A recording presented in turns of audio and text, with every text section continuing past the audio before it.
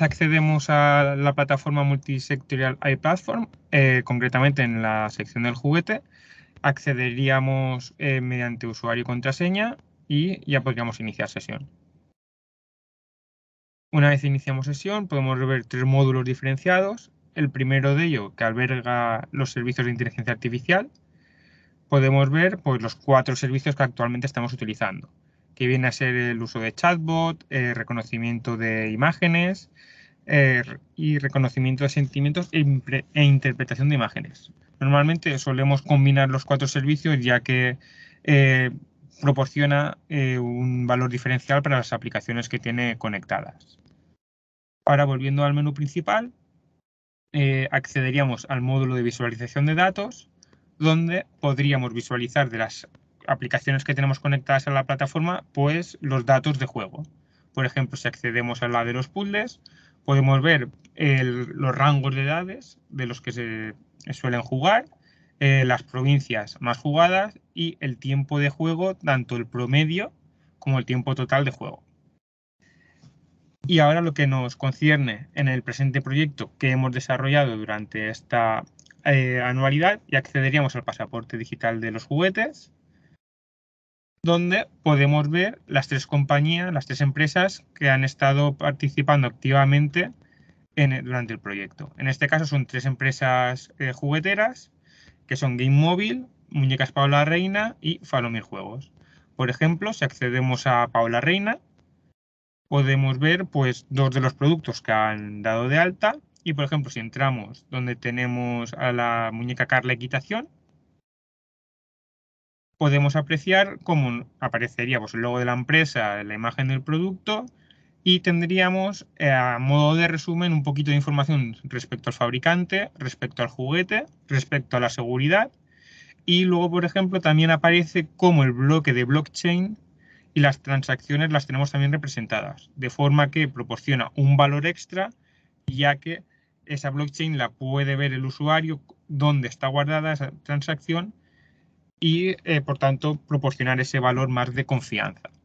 Ahora, por ejemplo, si nos adentramos ya en la información del fabricante, pues podemos ver un poquito más de información, pues, por ejemplo, el CIF de la empresa, que está situada en España. Tendríamos también acceso a la página web. Por ejemplo, ahora si accedemos a la sección del juguete,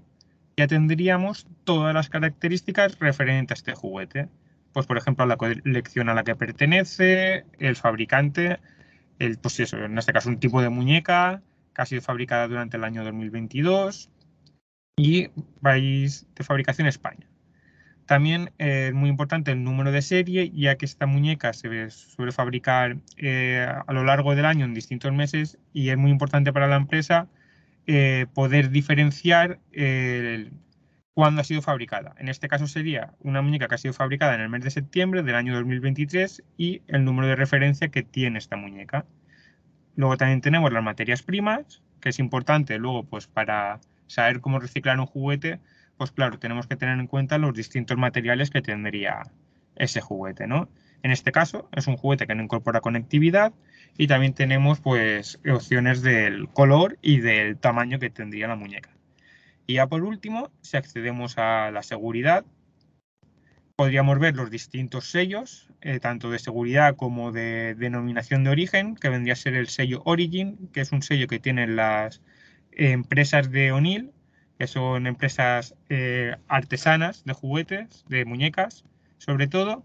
Es un sello que proporciona pues, esa denominación de origen para que cuando un cliente compra una muñeca sepa que está fabricado 100% en O'Neill 100% en España y por tanto es un juguete seguro y confiable para los niños. Y eh, esto vendría a ser toda la parte visual de la plataforma eh, del pasaporte digital de producto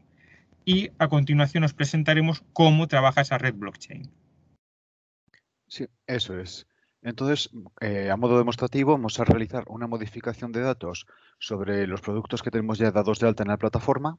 por ejemplo, vamos a irnos a otro producto fabricado también por Paula Reina, que es el muñeco Darío. Y si nos vamos aquí, eh, tenemos tanto el identificador de la última transacción en la que este mm, activo, este muñeco, se vio modificado, como el bloque en el que esta transacción se contiene.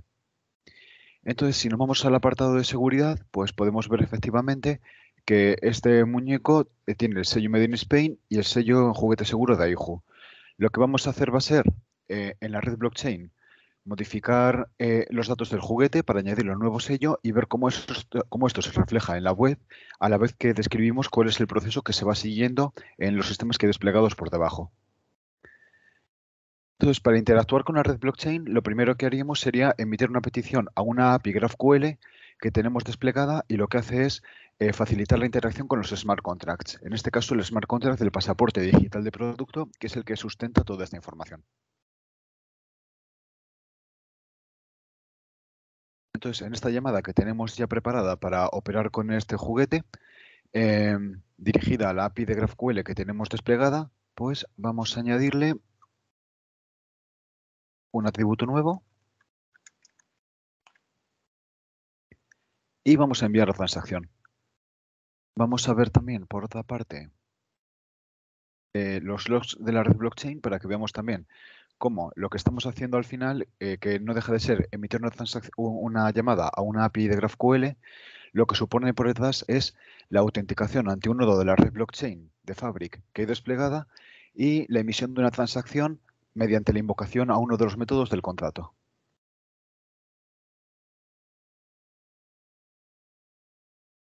Muy bien, ahora eh, podemos ver cómo por una parte se ha procesado la transacción en los logs y además esta transacción se ha visto contenida en un nuevo bloque de transacciones que ha incrementado el número de bloque en el algoritmo de consenso. Entonces, si por una parte volvemos a la aplicación, accedemos de nuevo al juguete podemos ver cómo tiene el nuevo sello que hemos añadido en el apartado de seguridad y no solo eso, sino que además, eh, si recordamos, antes el número de bloque en el que se había visto afectado este juguete era el bloque 91. Ahora, como ha habido una nueva transacción que afecta a este juguete, vemos que esta transacción es distinta, es una nueva transacción que se ha generado, corresponde al bloque 92 y efectivamente eh, estos atributos, estos datos, coinciden con los que podemos ver en los logs de la red blockchain. Finalmente, em, si nos vamos a la base de datos que tenemos sincronizada con los contenidos de la DLT para facilitar su consulta y que así integrar, integrar la red DLT con la plataforma sea mucho más sencillo, podemos ver también todos los datos que hay almacenados.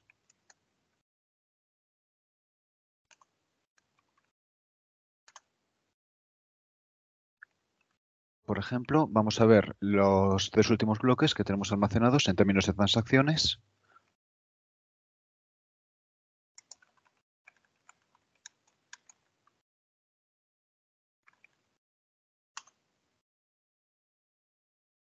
Entonces, podemos ver aquí el bloque 92, transacciones que contiene y cómo esto al final corresponde con el identificador de la transacción que estamos mostrando en el pasaporte digital de este producto.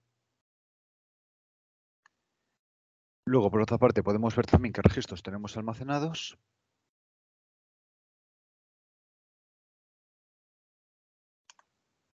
Aquí veríamos los identificadores de los registros,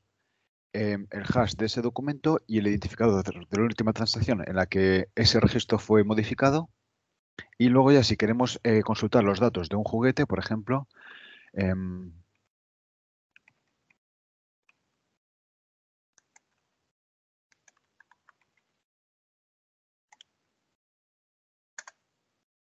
A ver, Ah, perdón, me falta aquí una raya baja. Ahora. Pues efectivamente eh, podríamos recuperar todos los datos y veríamos como en esta base de datos que se mantiene continuamente sincronizada con la DLT a medida que se van ejecutando eh, transacciones, podemos ver cómo tenemos el sello nuevo que hemos añadido también en el apartado de información de sellos. Entonces, de esta forma cerramos todo el ciclo eh, ofreciendo unas interfaces que permiten operar a alto nivel con la red DLT, tanto para emitir transacciones como para consultar información de ella, con esta base de datos que tenemos por detrás,